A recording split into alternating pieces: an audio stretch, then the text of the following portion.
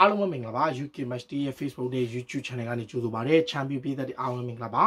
အခုဒါ breaking news အနေနဲ့ Real Madrid ရဲ့ legend ကွင်းလက်ကစားမဖြစ်တဲ့ဒါ Luka Modric ပေါ့လေအသက်38နှစ်ရွယ်ရှိတဲ့ Luka Modric ကရာဒီကိုမှာစာချုပ်တက်တန်းကုံဆုံးပြီဆိုတော့သူ့အနေနဲ့အသေးနဲ့လက်တွဲမလားလမ်းခွဲမလားကျွန်တော်ဘာမှမသိဘူးဒါပေမဲ့အခုစပိန်ရဲ့နာမည်ကြီးသတင်းသားတွေတခုတည်းက40 Makaido ဆိုတဲ့ report တခုရဲ့အဆိုအရ Real Madrid ရဲ့ Croatia ကွင်းလက်အသင်းကောင်းဆောင် legendary ကွင်းလက်ကစားမ Luka Modric ဟာရာဒီကိုမှာစာချုပ်တက်တန်းကိုထိုးတဲ့အခါ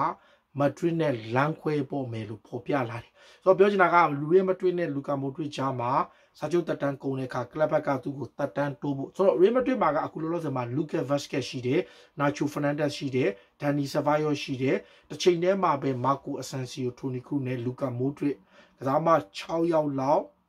စာချုပ်တက်တန်းကုန်ပြီးဒီကျဲမှာအဒင်ဟာဆက်ကိုလည်းယာဒီကိုမှာကလပ်ကလမ်းခွဲခြင်းတယ်ဆိုတော့အခုလောလောဆယ်မှာတက်တန်းတိုးဖို့အတွက်ကအခုလောလောဆယ်အကောင်းဆုံးက Ceballos တယောက်ပဲရှိပြီးတော့ Cruz ကလည်းသူ့ရဲ့အနာဂတ်ကိုတက်တန်းတိုးတာမတိုးတာထားသူကိုယ်တိုင် decision အရင်ချမှာအဲ့ချိန်မှာ Luka Modric ကလည်း Real Madrid မှာဆက်နေခြင်းပဲ Madrid ကသူ့ကိုတက်တန်းတိုးပါမလားဆိုတော့မသေးကြဘူးဆိုတော့38နှစ်ရွယ်ရှိတဲ့ Luka Modric ဟာ2014ခုနှစ်မှာ Tottenham Hotspur ကပြောင်းလာတဲ့အချိန် Real Madrid အသင်းပေးသက်တွေကမဲပေးကြတာပေါ့အဲတုန်းကကလပ်အသင်းကတမိုင်းတစ်လျှောက်အဆိုးဝါးဆုံးခေါ်ယူသူအဖြစ်သတ်မှတ်ခဲ့ကြတယ်ဒါပေမဲ့သူဟာဒါစပိန်ဘောလုံးလောကကိုအားလုံးကိုတန်တရားမျက်လုံးတွေကိုပြောင်းလဲခဲ့ပြီးဘာလွန်တော့ဆိုရယူခဲ့သလိုအကောင်းဆုံးကွင်းလက်ကစားမဖြစ်နှစ်ပေါင်းများစွာကစားခဲ့တာဆိုတော့အခုလူကာမိုဒရစ်ရဲ့လက်ရှိအနာဂတ်ကရီမက်ဒရစ်မှာမသေးကြတော့လို့ယာဒီကုံမှာအိုင်ရပိုရဲ့အဆိုအရ ရီယယ်မက်ဒရစ်အသင်းကိုမိုဒရစ်တယောက်ဆွန့်ခွာတော့မယ်လို့ဆိုတယ်အဓိကတော့ရီယယ်မက်ဒရစ်အသင်းရဲ့ကွင်းလက်ကစားမက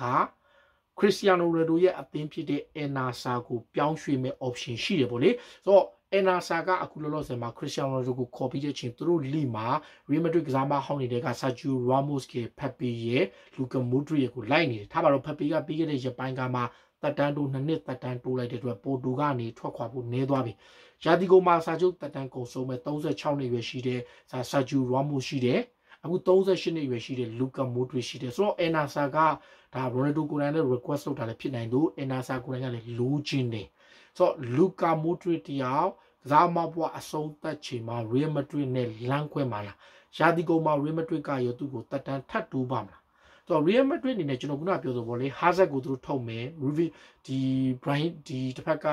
Mariano Diaz ကြောက်ထွက်မယ်အဲ့ထဲမှာစာချုပ်တက်တန်ကုန်မဲ့ Lucas Vazquez ရှိတယ် Nacho Fernandez Fernandez ကလည်း Real Madrid ကထွက်ဖို့များနေတယ်တစ်ချိန်တည်းမှာ Asensio ကလည်း Barcelona အပါဝင်ပြိုင်ဘက်ကလပ်တွေတုံးပြောင်းဖို့တတိနေထွက်နေသလို Modric နဲ့ Cruz လည်းရှိတယ်ဆိုတော့အချိန်မှာ Real Madrid မှာလည်းသူတို့သူတို့တွေအများကြီးရှိတယ်ဆိုတော့လူကာမိုဒရစ်ကို Real Madrid တက်တန်းတိုးပါမလားထိုနီခရူကရော Real Madrid မှာဆက်ရှိပါမလား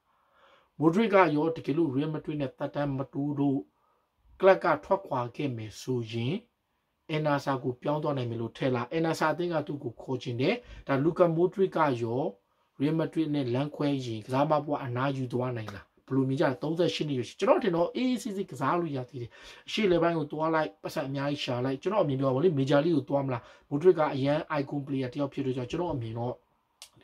မေဂျာလီကိုသွားလိုက်နောက်ထပ်ပစံ EDC ရှာလိုက်ဒါမှမဟုတ်ရှင်အရှိလေပိုင်းမှာခရစ်စတီယာနိုရိုလည်းရှိတော့အရှိလေပိုင်းသွားလိုက်သူက highest level မှာ EDC ကစားနိုင်တယ်38နှစ်ဆိုပေမဲ့နော်သူ pace နဲ့ power နဲ့လုံးဝမကြောက် vision ရလဲကြောက် command လေးဆိုတော့ဟိုအန်အနာဆာမှာတစ်နှစ်ကိုတန်း20တန်း30အေးရေးသွားပြီနောက်ထပ်2နှစ်3နှစ်လောက်တန်း90လောက်ထပ်ရှာလိုက် ဒါကျွန်တော်အမြင်ပြောတာဗေလေဒါပေမဲ့ Real Madrid ပေးသက်တွေကတော့လူကာမိုဒရစ်ကိုဆက်ရှိရှင်သေးတာပဲခါလို့အချီလက်တို့ကတော့ပြောထားပြီးသားအသက်အရွယ်ကြောင့်မိုဒရစ်ရော Cruz က rotation system ကိုလက်ခံရတော့မယ်လို့ပြောထားတယ်ဒါပေမဲ့တေးကြတာတော့သူတို့နှစ်ယောက်ရဲ့ error ဟာ Real Madrid မှာအဆုံးသတ်ပြီလားပြည်သက်တွေဘယ်လိုမြင်ကြလဲကိုမမဝင်ရမှတ်ချက်ပြကြပါအလုံးကျေးဇူးတင်ပါတယ်အကြီးတော်ဘုံအောင်ရမည်